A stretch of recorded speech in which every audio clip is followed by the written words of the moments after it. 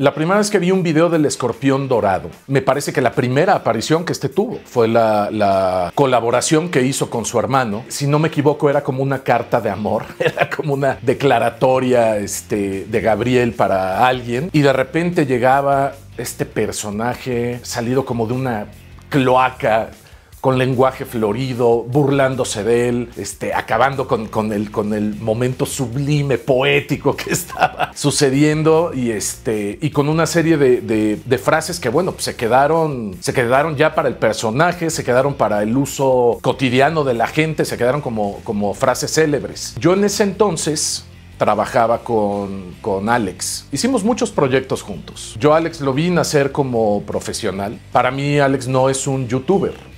Alex es un profesional. Él hizo un poco de todo. Estuvo en Canal 4, si no me equivoco, Canal 5, en Televisa, en un noticiario con, con San Cristóbal y, Videgaray. Y después pasó a TV Azteca, era, era como que el rey del piloto. Alex era un tipo que apostaba.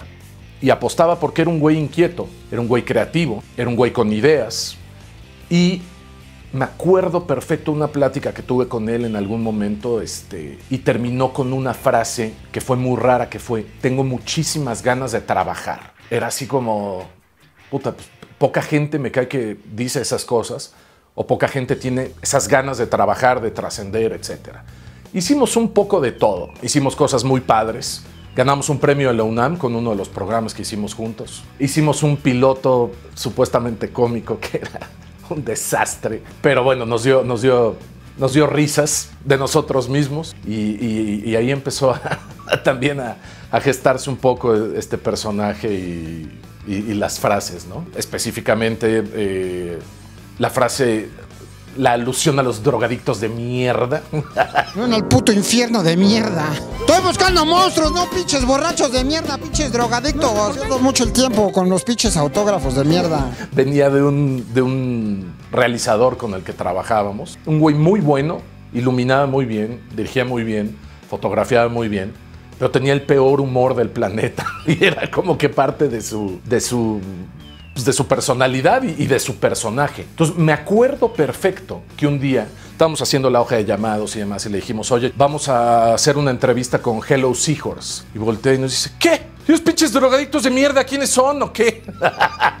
Entonces nos reímos muchísimo, ya le, le, le, contábamos eso y nada más decía, pinche música para locos. Les decía pinche música para locos a Zoe o a Hello Seahorse o qué sé yo. Y se quedó también como un rolling gag este, dentro de la producción. Oye, hoy nos toca entrevista con tal banda. Pinches drogadictos de mierda. y se quedó esa frase. Eh, Alex la, la adoptó para, para el escorpión, ni mucho menos. Esa frase salió de ahí. Pero empezó a crecer y a crecer su personaje y a llevarlo este, a rincones socialmente muy peculiares. A mí me llama mucho la atención la ansiedad eh, de la gente por ser insultado. La gente le escribe, lo provoca para que, para que él les conteste peladez y media y les miente la madre les diga que su mamá quién sabe qué. La gente quiere ser insultado. Es como un honor ser insultado por el escorpión, ¿no? Entonces... ¿Cuántas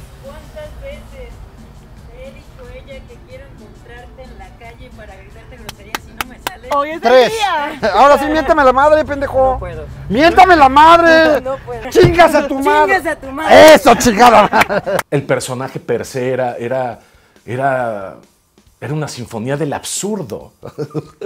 en algún momento, ahora que me acuerdo, en algún momento Alex me compartió la clave de, de, la cuenta de Twitter del escorpión. Y yo contestaba también. La manejamos los dos. Y yo me divertía mucho tal cual insultando a la gente a diestra y siniestra. Y la gente era feliz. La gente era feliz recibiendo los insultos. Pero bueno, puntualmente la pregunta, la primera vez que lo vi fue de hecho ahí en, en, en Azteca las juntas que teníamos y eso, pues papaloteábamos mucho, veíamos videos de YouTube. Ese El Escorpión eh, lo vimos en, en, en, mi oficina probablemente y nos reímos, bueno, este, patas para arriba. ¿no? Ya, ya me dices amor de mi vida, una pinche noche de pasión por la pinche ano que te doy y ya me dices amor de la vida. Creo que El Escorpión Dorado es un, es un, es un güey políticamente incorrecto es, es ya un término que queda hasta deslavado para él. Es el ser menos hipócrita que, que conocemos. Creo que también el mismo personaje es una burla de sí mismo, es una burla de todo el medio con el que interactúa. Si es la política, se burla de los políticos y les da de frente y les mete un par de sockets. Y creo que eso es lo que cae bien. El lenguaje florido, este, coloquial, barrial, muy, muy poco refinado,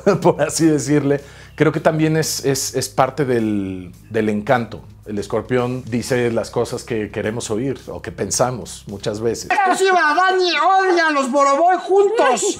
A todos. ¿Por qué, Daniela? Detrás de la máscara está un güey que ha picado mucha piedra, mucha piedra, que estudió periodismo, que hizo televisión, que hizo radio, que tocó puertas, que le cerraron muchas puertas, que le abrieron muchas otras, que se ha construido un camino él solo. Eh, cuando ya la institución como tal no daba, él simplemente agarró otra ruta se creó su ruta. Eso es muy válido. Entonces, yo he visto críticas a veces injustas hacia, hacia Alejandro Montiel. No tanto en el escorpión, sino específicamente a la lata, por ejemplo. Es un, es un formato que no muchos colegas de la crítica y demás respetan, etc. Yo creo que habla su propio lenguaje, tiene su público, va dirigido a cierta a cierto sector. Tiene muy pocas poses. Yo le reconozco toda esa parte, porque aparte a mí, o sea, yo lo vi y, nos tocó y lo hicimos.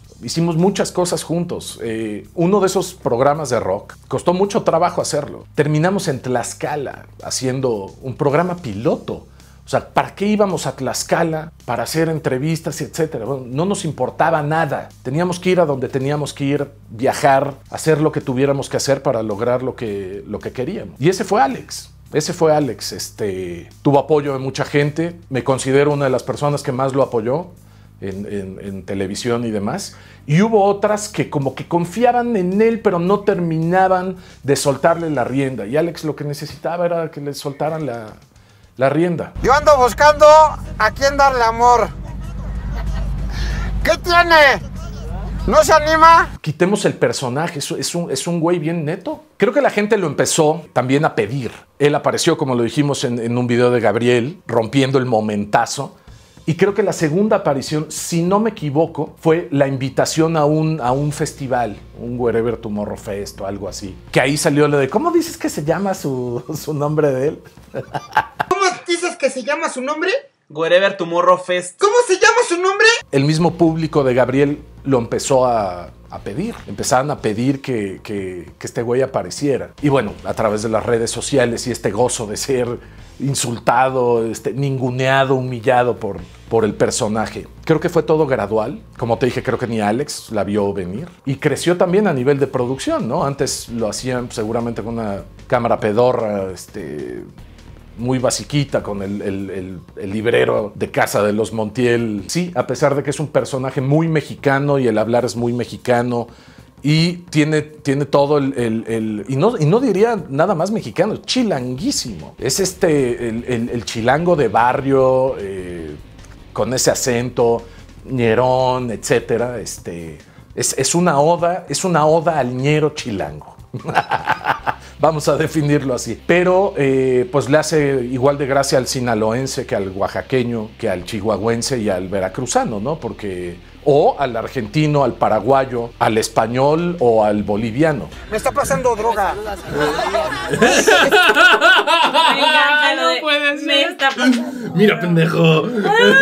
El que sea tan, tan, tan derecho para decir las cosas, tan, tan poco correcto para decirlo, tan poco hipócrita, creo que es lo que, lo que ha gustado. Y de ahí, pues esta bola de nieve la ha empezado a construir Alex. O sea, Alex, ya, ya el escorpión como marca, pues entonces ya, a ver, si, si, si el nacimiento del escorpión fue una casualidad, ya el crecimiento que tuvo, ahí sí ya es responsabilidad de Alex. Alex lo llevó en una dirección, la que él quiso, haciendo entrevistas muy desenfadadas, muy diferentes, pero que ha, que ha funcionado y que ha, que ha gustado y que es, eh, que es divertido. Estamos haciendo así, pinche feedback, güey. Necesitamos un cocú. Ya viste qué Un cucú. No lo veo todas las veces, pero cada vez que lo veo me río. O sea, verdaderamente me río porque pues, es un güey muy rápido, es un güey muy ocurrente. Hay mucho gozo en, en- en escucharlo hablar, atacar, burlarse, etc. No mames, ¿a quién me encontré? Al cara señor de papa. Me llama mucho la atención como lo que te decía hace rato, el, el- el personaje se lo comió a él. Yo creo que ni el mismo Alex pensó que este personaje iba a ser tan grande, tan popular, etc. Ya, ya, ¿Qué ya. puedo hacer aquí? La pinche. Ríndete, güey. Ya, estoy hablando en. ¡Ah, ya, ya, colas, colas, colas. Un día en la calle vi una máscara del escorpión y le dije, oye, ¿tienes registrada la máscara, el nombre, el personaje? No, hombre, güey. Güey, regístralo. Sí, sí, sí, lo voy a registrar. Alex, neta, güey, regístralo. Sí, sí, a huevo, sí. y se quedó en eso. Yo le dije eso porque verdaderamente creía que esto iba a convertirse en, en- en un monstruo. Y creo que ni Alex lo veía. Alex se reía, se divertía haciendo esto, pero yo creo que tampoco nunca pensó que iba a haber un trabajo detrás de esto, dinero, patrocinadores. Vamos por unas aguas frescas bien sabrosas, mi chef. Me salen dos aguas del día. Abuelita, el escorpión dorado. ¿Un escorpión? viajes, contenido, etcétera, detrás de todo esto. Yo creo que fue una. Para él es, casi casual que esto haya sucedido. Alex nunca pensó en monetizar nada de esto, en potencializar nada de esto. Se cagaba de risa, se divertía.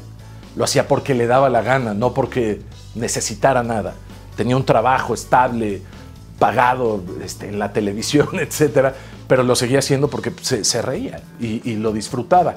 Y esa es la clave. No, no, no es un trabajo 9 to 5. Este, es un gozo. Se caga de risa y se ve. ¿Cuánto ganas tú con tu programa? Yo no lo hago por dinero porque ¿Pero estoy ganas cabrón. o no, güey? Porque Ni como soy, dueño de la mitad, ya, ya compré una chingadera. Le diría, ¿cómo dices que se llama tu pinche nombre todo de ti? no sé de dónde. Es, eso, por ejemplo, ve, ve tú a saber de, de- de dónde sacó esa voz. Porque si vemos los primeros videos, quizá todavía no está eso tan, tan. Es una especie así como Charlie Valentino, ¿te acuerdas? Que hablaba así y con acento de, este, de, chilango barrial. No hay, que, no hay más que felicitarlo. O sea, es, es- un. Es un personaje que quizá a la larga se vaya a volver un, un ícono de la, de la cultura popular mexicana. Puede estar, es qué sé yo, Clavillazo y Cantinflas y algunos cómicos, etcétera. Y puede estar el, el escorpión dorado. Eso simplemente el tiempo nos lo, nos lo va a ir eh, marcando.